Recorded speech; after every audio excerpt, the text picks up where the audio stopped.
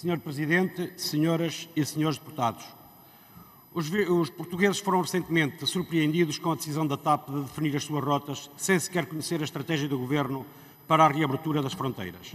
Mas essa pretensão da TAP, que parece pretender confundir o país com Lisboa, não representa apenas uma desconsideração pelo norte do país. Mostra ainda que a TAP definiu a sua estratégia de retoma sem ter presente o interesse público e procurando até fugir a qualquer contributo para a retoma da atividade económica do país.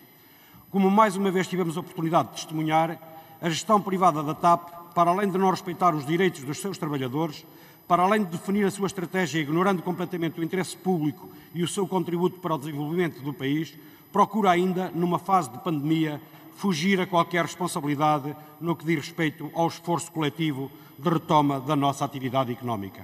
Ora, a TAP é uma empresa estratégica que, para além de constituir uma das maiores exportadoras nacionais, representa também um instrumento da nossa soberania num país com 11 ilhas atlânticas e importantes comunidades imigrantes em todos os continentes, espalhadas um pouco por todo o mundo. No entanto, ao longo, ao longo dos anos foram várias as tentativas de privatização da TAP.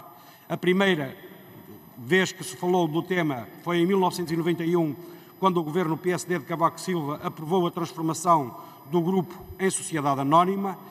Em 2015, apesar da controvérsia e da contestação, o governo PSD-CDS acabaria por privatizar 61% do capital da empresa e, à semelhança de outros maus exemplos de privatização de setores estratégicos para a economia portuguesa, a privatização da TAP foi um erro de grande dimensão para o país e para os portugueses.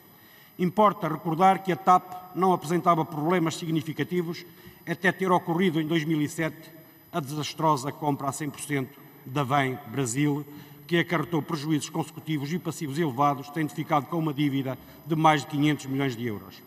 Para além disso, as condições em que se deu esta privatização foram muito lesivas para o Estado, que vendeu a empresa por cerca de 10 milhões de euros, ou seja, um grande negócio para os privados, mas um desastre para o Estado.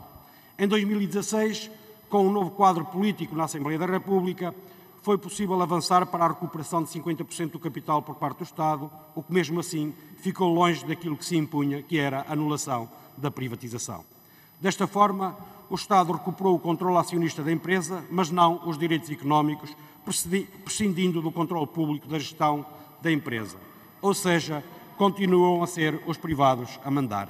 E hoje, confrontados com a necessidade do Estado injetar na TAP cerca de um milhão de euros, que tanta falta fazia para áreas como a saúde, para a conservação da natureza, para a ferrovia ou até para apoiar as pessoas que perderam os seus rendimentos em consequência da pandemia, ou ainda para reforçar os apoios às micro e pequenas empresas, contribuindo para o relançamento da economia, mais claro se torna que esta lógica do Estado ser acionista, não mandar nada e só ser chamado quando é preciso financiamento, não é solução. E não é solução, sobretudo, quando essa empresa só olha para os seus próprios interesses e sem qualquer preocupação relativamente ao seu contributo para o desenvolvimento do país, focando-se exclusivamente na sua rentabilidade.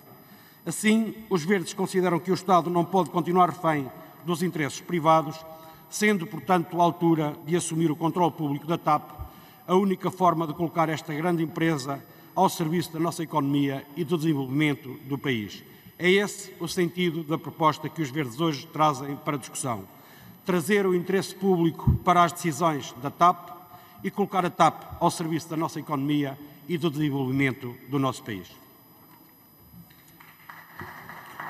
Muito obrigado.